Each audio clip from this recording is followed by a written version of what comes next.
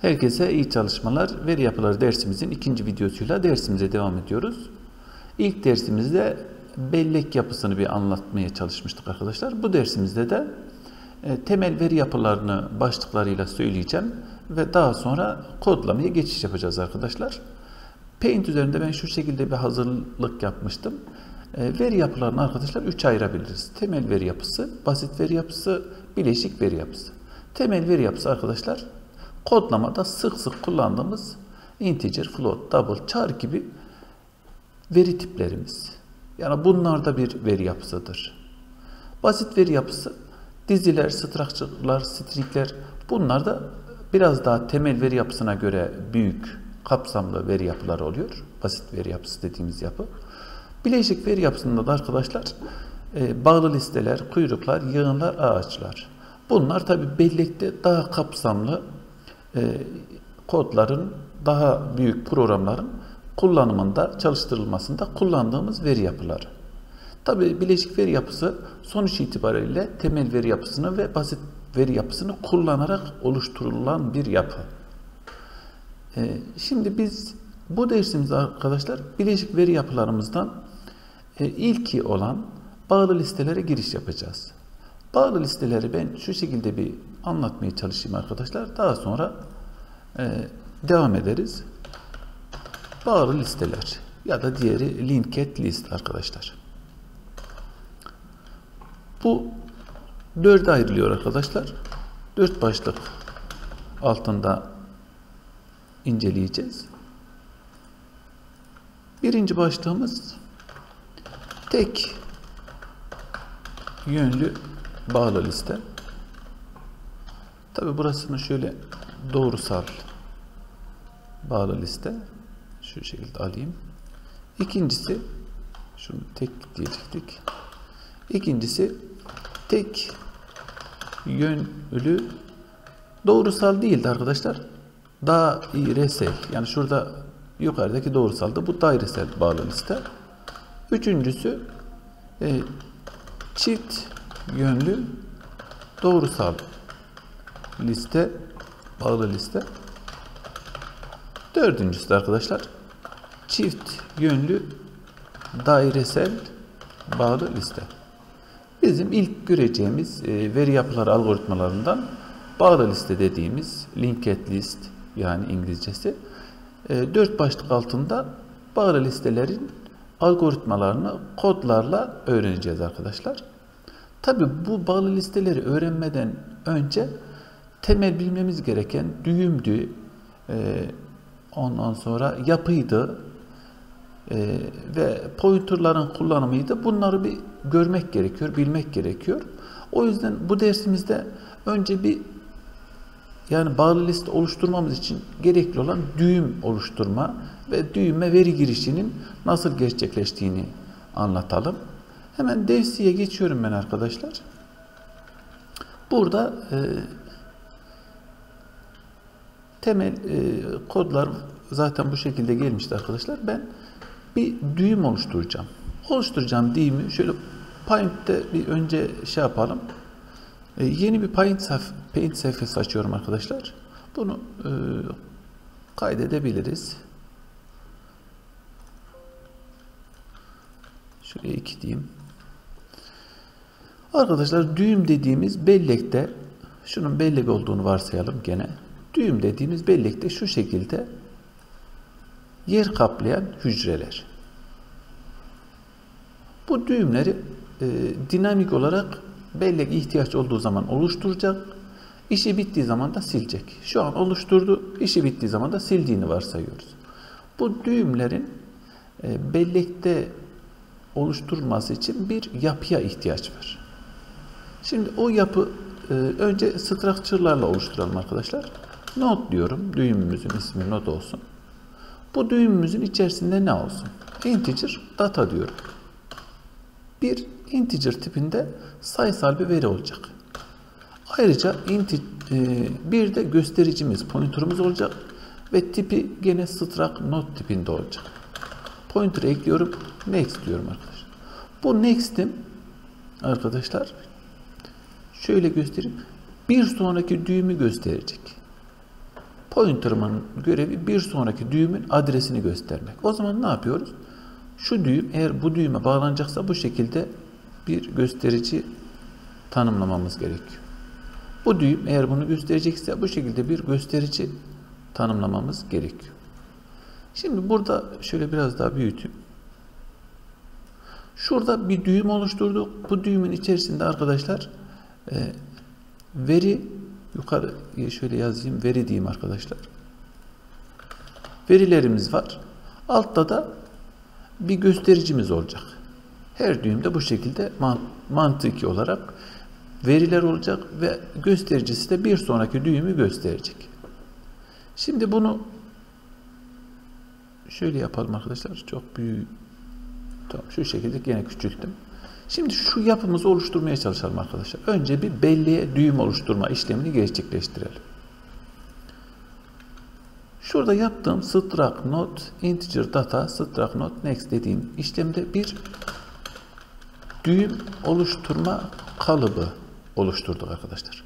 Şu kalıbı kullanarak düğüm oluşturacağız. Hala düğüm oluşturmadık şu an.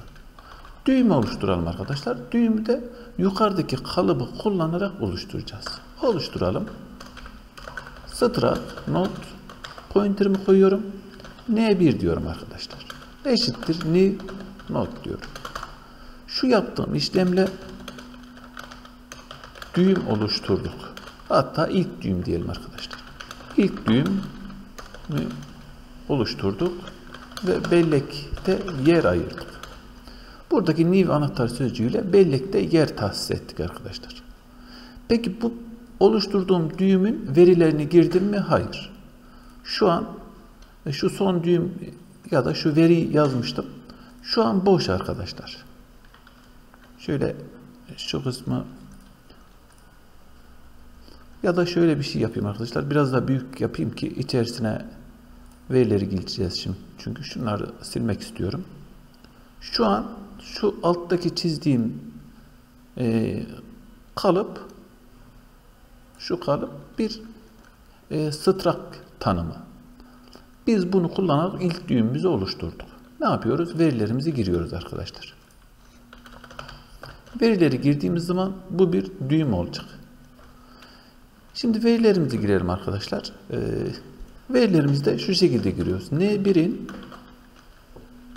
datası eşittir 11 diyorum. Şu an veri girişini yaptım arkadaşlar. Bir düğüm daha oluşturalım. Hemen şunu kopyalıyorum arkadaşlar. Şöyle aşağıya yapayım isterseniz. Şuna gerek yok. Şu an N1, N2, N3. 3 tane düğüm oluşturdum arkadaşlar. Şu yukarıda yaptığım işle bu ikinci düğüm oluştur diyelim. Şuna üçüncü düğüm oluşturduk ve bellekte yer ayırdık. Şimdi şuraya tekrar paint'e dönüyorum arkadaşlar. İkinci düğümümüz bu arkadaşlar. Üçüncü düğümümüz bu. Yani tam sırada olacak diye bir şey yok. Bellekte neresi boşsa işletim sistemi bize otomatikman o boş kısmı tahsis ediyor. Şu an e, 3 tane düğüm oluşturduk. Kodlarda yaptığımız şu kısımla 3 düğümü oluşturma işlemini tamamladık. Peki veri girişini yaptık mı? Hayır. Sadece ilk düğme datasına 11 e, değerini girdik. Kopyalıyorum hızlıca arkadaşlar. Şimdi no 2, not 3 yani ne'den kastım not, düğüm yani. Not 2'ye 22, not 3'e de 33 diyelim arkadaşlar. Şu an 3 tane düğümümüzün verilerini girdik arkadaşlar. Şuraya tekrar Paint'e dönüyorum. Ee, şuraya yazalım hemen. İkinci düğüm verileri girildi dedik. Bu da üçüncü düğüm verileri girildi. Evet.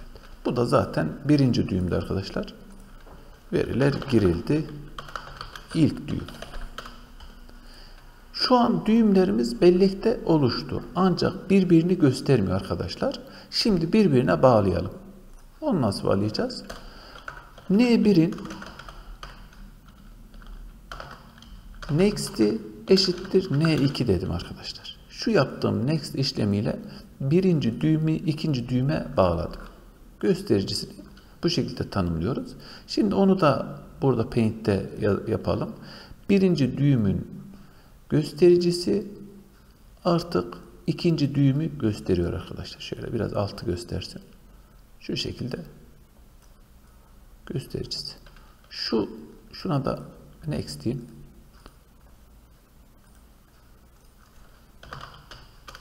Next. Next'i burayı gösteriyor arkadaşlar. İkinci düğüm gösteriyor mu herhangi bir düğümü? Hayır. Onu da gösterelim. Önce kodla tanımlayalım. N2'nin next'i eşittir N3 arkadaşlar.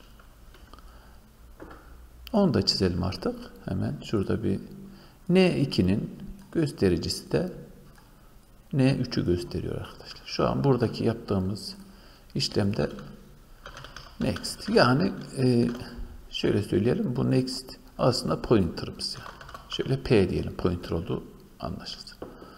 Şu an kodlarda bunu yaptık. Peki üçüncü düğümüm herhangi bir yeri gösteriyor mu? Hayır. Onu ne yapıyoruz? N3 next'i eşittir null diyoruz. Şu an herhangi bir düğümü göstermiyor. Ben son düğümüm diyor. Bunu ekrana yazdıralım arkadaşlar. Cout diyorum. Ee, N1'in datasını ekrana yazdıralım arkadaşlar. F11'e basıyorum. Değerleme işlemimiz gerçekleşsin. Gördüğünüz gibi 11'i gördük. İlk düğümümüzün değeri. Kopyalıyorum. Yapıştırıyorum. N2, N3. N2 ve N3'ün de değerlerini görelim arkadaşlar. Hemen F11 ile çalıştırıyorum. Gördüğünüz gibi 11, 33. N3'e 2'ye değer atamamışız sanırsam. Onu N3 e, N2'nin datası N1, N2, N2 şurada 11, 22, 33. Bunu bir şunu N3 yapmamışım arkadaşlar. O yüzden hata tam göstermemiş. Şimdi tekrar F11 ile çalıştırıyorum. Gördüğünüz gibi 11, 22, 33. 3 adet data verilerimizi gördük. Kayıt devam ediyor arkadaşlar. Şimdi arkadaşlar tabi bunu hep böyle teker teker mi göstereceğiz? Hayır. Artık düğümleri birbirine bağladık. Burada next operatörüyle düğümleri birbirine bağladık. Pardon next komutuyla arkadaşlar. Şimdi bunu siliyorum. Bir geçici düğüm oluşturuyorum arkadaşlar. Ee, şuradan aynısını alabiliriz. Şuraya yapıştırayım. Buradası temp diyorum arkadaşlar buna. Temp eşittir. Neyi göstersem bu? N1'i. Birinci düğümü gösteren geçici bir düğüm oluşturdum arkadaşlar. Onu da yazalım. Geçici düğüm oluşturduk. Ee, şimdi bunu e, while'la düğümlerin üzerinde gezinerek ekrana yazdıralım değerlerini arkadaşlar. Temp eşit olmadığı sürece null'a. Null olan hangisiydi zaten? Son düğümüm null'ı gösteriyordu. Oraya kadar dönsün. Cout diyorum. Temp'in datasını yaz diyorum. Şöyle biraz da boşluk veriyorum. Tabi temp her adımda yani while her döngüde bir sonraki düğüme geçmesi için ne yapıyorum? Temp eşittir. Temp'i next diyorum arkadaşlar. Yani burada şurada yaptığım işlem arkadaşlar şöyle bir şey. Paint'e gelelim. Burada ilk düğümüm bu. Next dediğim zaman artık ikinci düğümü geçmişim demektir.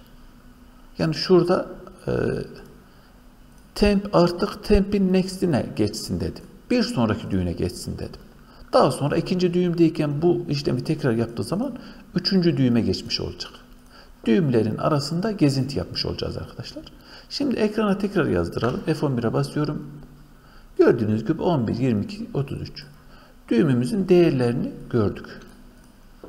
Burada arkadaşlar e, bir yapı tanımladık Structure'dan.